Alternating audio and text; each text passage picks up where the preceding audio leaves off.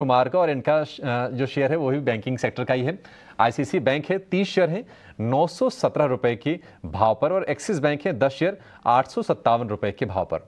तो बैंकों की क्वालिटी को लेकर तो कोई सवाल नहीं है। दोनों के दोनों ही दिग्गज बैंक हैं। लेकिन इसको जरा एक बार चेक कर लेते हैं क्योंकि इनके भाव से ऊपर है आईसीसी बैंक करीब करीब बीस पच्चीस रुपये ऊपर है। थोड़ा सा नीचे आया है, हालाँकि ये शेयर काफ़ी ज़्यादा चल चुके हैं। तो निश्चित तौर पर एक कंसोलिडेशन वाले फ़ेज़ में भी जाते हुए दिख रहे हैं गौरांग सर आई बैंक और एक्सिस बैंक इनके भाव से फ़िलहाल ये शेयर ऊपर हैं। आप कितना समय दें और क्या करें?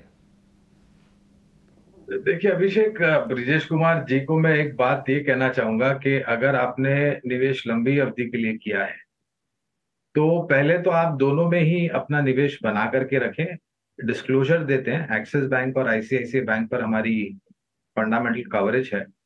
और मैं तो इस हद तक कहना चाहूँगा अभिषेक ब्रिजेश कुमार जी को कि आपने जिस मात्रा में खरीदारी शुरू की है, मेरे ख्याल से कुछ दस दस शेयर है दोनों ही बैंकों के।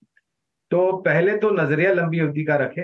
और मैं आपको ये भी राय दूँगा कि हर महीने अगर आपके पास निवेश लायक पूंजी आती है और अगर आप उसी को लंबी अवधि के लिए निवेश करना चाहते हैं तो हर महीने आपके पास जो भी पूंजी है, उस मात्रा में आप दोनों ही बैंक के शेयर्स और खरीदते चाहे फिर वो दो शेयर पाँच शेयर दस शेयर पंद्रह शेयर जितने भी हो। कहने का तात्पर्य ये है कि आप एक एसआईपी माध्यम बना ले ये दोनों में निवेश करने के लिए। और अगर आप अपना नज़रिया साल, डेढ़ साल, दो साल या उससे ज़्यादा का रखते हैं तो हमारा जो आकलन नतीजों के आधार पर और लक्ष्यांक के आधार पर है, मेरे ख्याल से इनको ज़्यादा कठिनाई नहीं होगी। 12 से 15 परसेंट का मैं एक बहुत ही न्यूनतम रिटर्न की बात कर रहा हूँ। अभिषेक, शायद इससे बेहतर भी रिटर्न मिल सकता है अगर नतीजे बेहतर आते हैं तो। लेकिन बने रहे और एक नज़रिया बना ले लंबी अवधि का और एसआईपी माध्यम के द्वारा हर महीने जो भी आपके पास निवेश लायक पूंजी हो, वो दोनों में बराबर हिस्सा कर करके उतनी मात्रा में शेयर खरीदते जाए।